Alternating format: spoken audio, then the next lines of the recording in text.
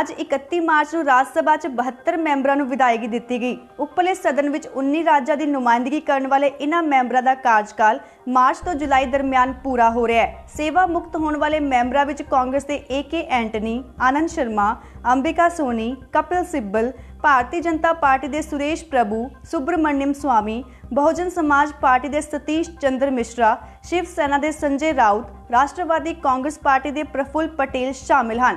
ਸੇਵਾ ਮੁਕਤ ਹੋਣ ਵਾਲੇ ਮੈਂਬਰਾਂ ਵਿੱਚ ਨਿਰਮਲਾ ਸੀਤਾਰਮਨ ਪਿਊਸ਼ ਗੋਇਲ, ਮੁਖਤਾਰ ਅੱਬਾਸ ਨਕਵੀ ਅਤੇ ਆਰਪੀਸੀ ਸਿੰਘ ਵਰਗੇ ਮੰਤਰੀ ਸ਼ਾਮਿਲ ਹਨ। ਪ੍ਰਧਾਨ ਮੰਤਰੀ ਨਰਿੰਦਰ ਮੋਦੀ ਨੇ ਰਾਜ ਸਭਾ 'ਚੋਂ ਸੇਵਾ ਮੁਕਤ ਹੋ ਰਹੇ ਮੈਂਬਰਾਂ ਦੇ ਚੰਗੇ ਭਵਿੱਖ ਦੀ ਕਾਮਨਾ ਕੀਤੀ ਹੈ। ਧਿਆਨ ਰਹੇ ਕਿ ਪੰਜਾਬ ਵਿੱਚੋਂ ਪ੍ਰਤਾਪ ਸਿੰਘ ਬਾਜਵਾ, ਸ਼ਮਸ਼ੇਰ ਸਿੰਘ ਦੁੱਲੋ, ਸੁਖਦੇਵ ਸਿੰਘ ਢੀਂਡਸਾ, ਸ਼ਵੀਤ ਮਲਿਕ ਅਤੇ ਨਰੇਸ਼ ਗੁਜਰਾਲ ਦਾ ਰਾਜ ਸਭਾ ਵਿੱਚ ਕਾਰਜਕਾਲ ਸਮਾਪਤ ਹੋ ਚੁੱਕਾ ਹੈ ਅਤੇ ਇਹਨਾਂ ਦੀ ਥਾਂ ਆਮ ਆਦਮੀ ਪਾਰਟੀ ਦੇ ਪੰਜ ਰਾਜ ਸਭਾ ਮੈਂਬਰ ਚੁਣੇ ਜਾ ਚੁੱਕੇ ਹਨ।